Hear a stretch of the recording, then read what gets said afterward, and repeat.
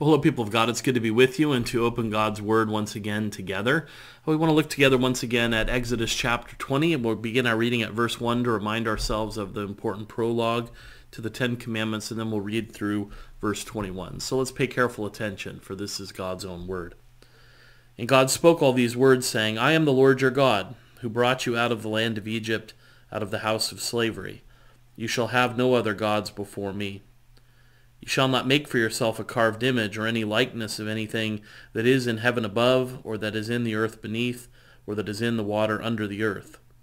You shall not bow down to them or serve them, for I, the Lord your God, am a jealous God, visiting the iniquity of the fathers on the children to the third and the fourth generation of those who hate me, but showing steadfast love to thousands of those who love me and keep my commandments. You shall not take the name of the Lord your God in vain for the Lord will not hold him guiltless who takes his name in vain. Remember the Sabbath day to keep it holy.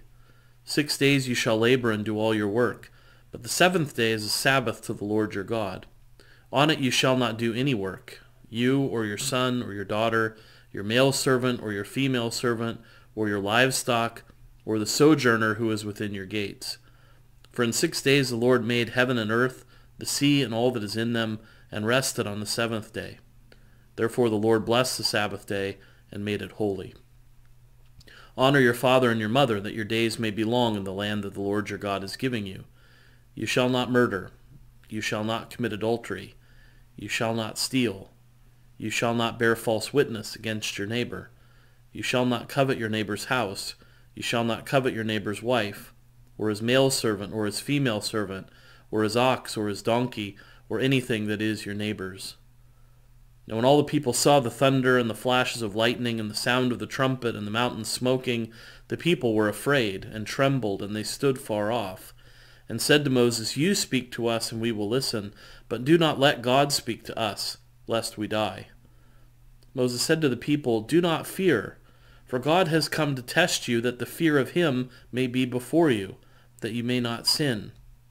The people stood far off, while Moses drew near to the thick darkness where God was. Thus far, the reading of God's Word, may He bless it to us.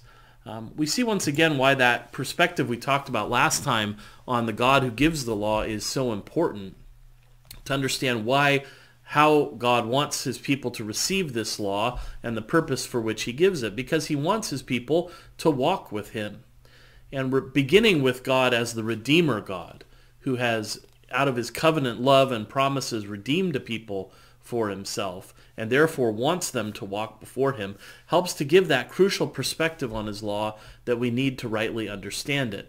This is a law for people with whom God has made a covenant, for a people whom he has redeemed from slavery. It's sort of like what Jesus says in John 15, 9 through 11.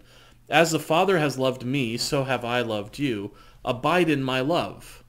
If you keep my commandments, you will abide in my love, just as I have kept my Father's commandments and abide in his love. These things I have spoken to you, that my joy may be in you, and that your joy may be full.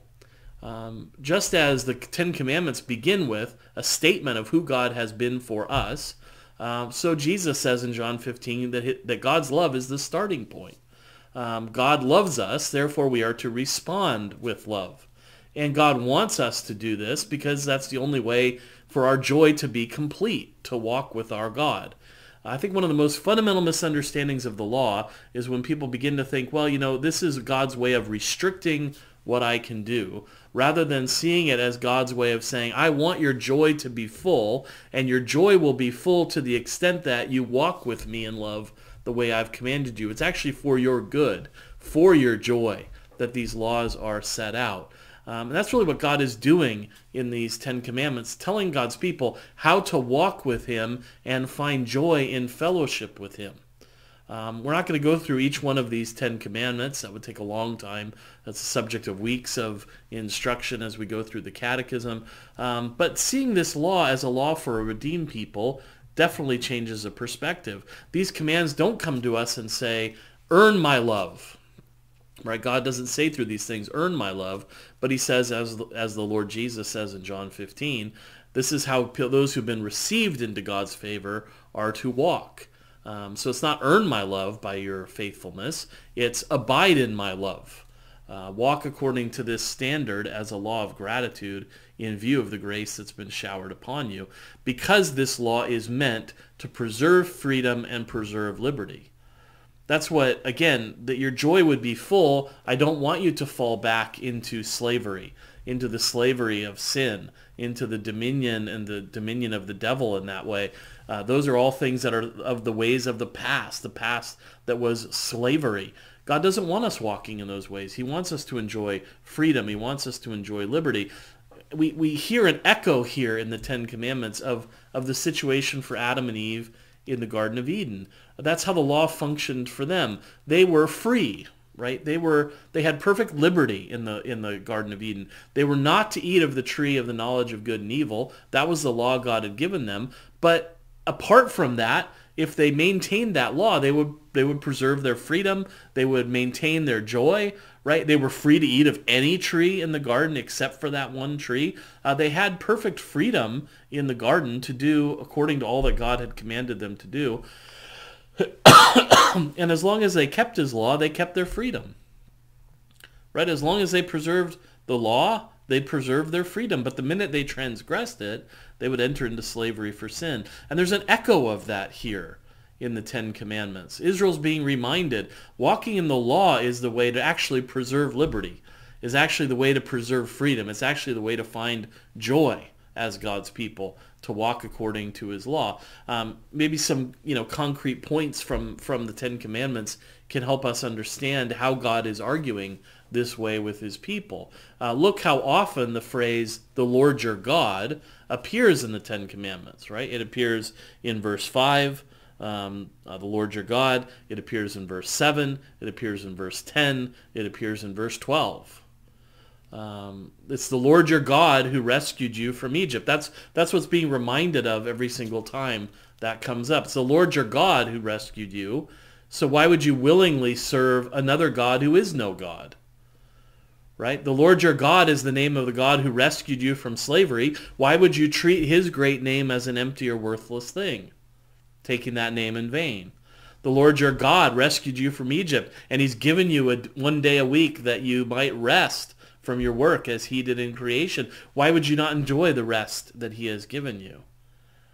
When we see it in that perspective, it shows us that really disobedience to his law is ungrateful. Um, it's ingratitude to the God who has saved us. It's and it's unwise because this is the God who's given us the law so we might walk with him and preserve the redemption and liberty that he's provided and avoid the kind of the kind of wickedness that is absolutely repugnant to him. Um, and so not only is it an act of ingratitude to the God who's redeemed us and who's out for our joy, but worse, it puts us at odds with a God who also reveals himself to be both a just God and a jealous God. Right? The Lord your God is a jealous God. He's a faithful spouse, and he will not let our spiritual adultery go unanswered. Um, the Lord's jealousy is really the only kind of jealousy that is that is good. Our jealousies are always sinful and selfish. Uh, but God's jealousy is actually a love for the sake of the bond he has with his people. Um, he's zealous for us, maybe is another way to kind of think about it, um, out of his love. So when we sin, it puts us at odds with this God who is jealous for our relationship and will not allow spiritual adultery to just stand in our lives. He's also a just God. He will not leave iniquity unpunished. Um, and so that reminds us of what sin is. It's for the Christian, it's an ingratitude that puts us at odds with a just and jealous God. Um, that's why it's such a serious thing to transgress the law of God, even as Christians, because God gives us his law so that we would continue to walk with him in fellowship and in freedom and experience the joy of doing the things that are pleasing in his sight. And so we're reminded here God wants his people to walk with him.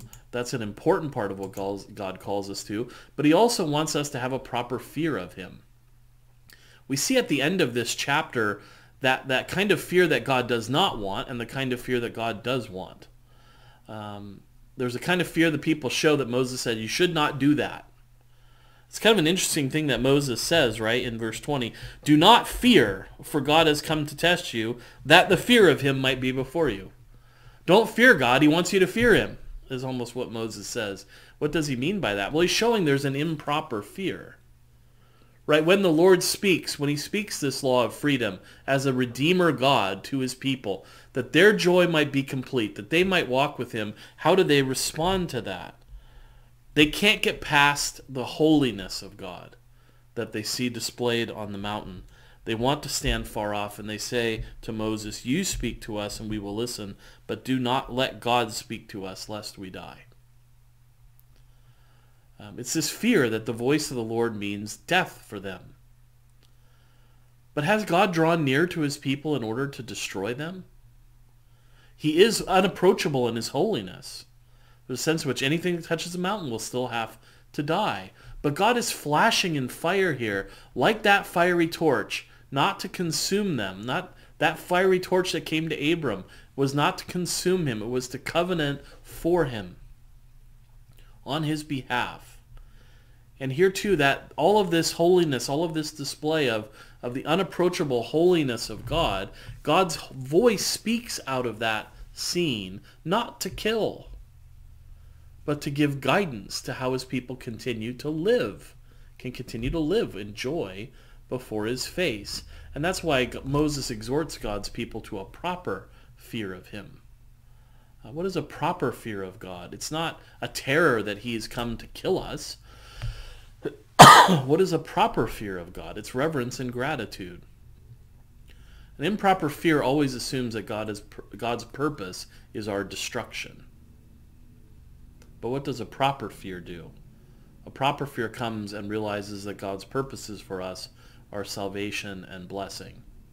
He had already told them that back in Exodus 19, 5 and 6. Now therefore, if you will indeed obey my voice and keep my covenant, you shall be my treasured possession among all peoples, for the, all the earth is mine, and you shall be to me a kingdom of priests and a holy nation. God wants us to revere his holiness and be grateful for his salvation, and so that a proper fear of God is in us, a proper fear of God, which is what we call true faith. Uh, it's that proper fear that will be a true motivation for walking according to God's commandments. Right? And Moses connects that, a proper fear and walking with God. Do not fear, for God has come to test you, that the fear of him might be may be before you, that you may not sin. Right? He wants you to have that proper fear that will cause you to walk in his ways and help you not to walk against him. A faith that will be fruitful for you. Uh, God called the, had called them to obey in chapter 19. They promised to do it. And the Lord's law comes as a test of that resolve. Is your commitment genuine? And without a proper fear of God, a true faith motivating holiness of life, they will not keep his law. It's a reminder that their own commitment and resolve is not enough. That only the fear of the Lord can actually produce obedience in the lives of his people. Only true faith can produce fruit in our lives. Um, only a true faith in God, worked in us by the Holy Spirit, has the power to actually be fruitful, to turn away from the sin that his law condemns and towards the obedience that his law commends, so that we do not sin. And this is the good news that God comes to his people with through his mediator Moses. That God's purpose is not to crush his people with the law. That's not his purpose, but to confirm his covenant of grace with them by which he will make them live. And the good news is brought to them by Moses, who is the mediator of the covenant. When God's people are afraid, it's the mediator of the covenant who says, do not be afraid. And when they stand far off, he's the one who goes up to God on their behalf.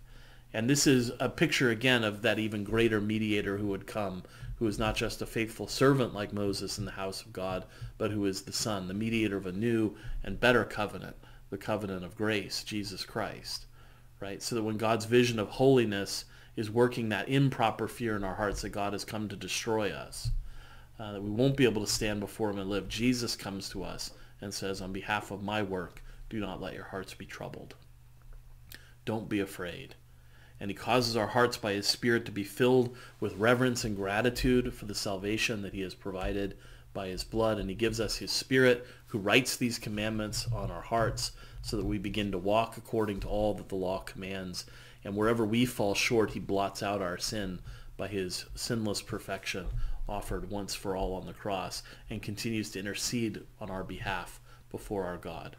Uh, what a wonderful thing it is to know that when I'm tempted to stand off from God for fear of what he will bring to me, it's Jesus who goes near on my behalf uh, to intercede before the Father. And that's how Jesus continues to bring the law of God to us today, reminding us that we are called to walk with him in love, in obedience to all of God's commands.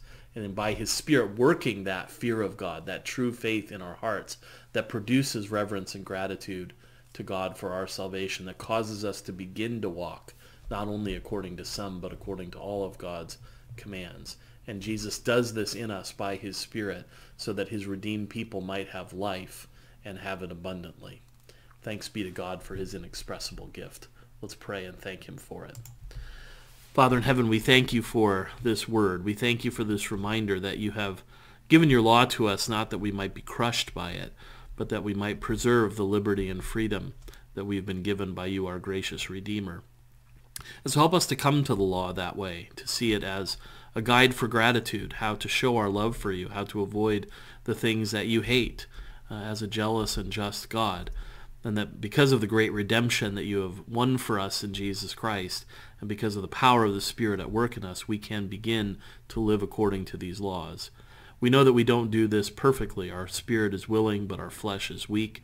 But we thank you that by the Spirit's power we do begin to walk according to this law, in the hopes that in the life to come we will be fully sanctified and will only do what is pleasing in your sight. But we thank you that we have a Redeemer, a mediator, our Lord Jesus Christ, who draws near to you on our behalf when we are tempted to try to flee from your presence, who brings us near to you, who sanctifies us by his blood and spirit, who washes us clean, and who works this faith in us so that we might begin to walk according to your law and not sin. So Lord, we help help us, we pray, by your Spirit to live more and more according to your law, to do the things that are pleasing in your sight. Forgive us for our sins because of Christ's name and fill us with that desire to live in the freedom which you have given to us in Christ. And hear our prayers, for we ask them in Jesus' name. Amen. All right, people of God, it's been good to spend this time with you. May the Lord bless you and keep you until we meet again.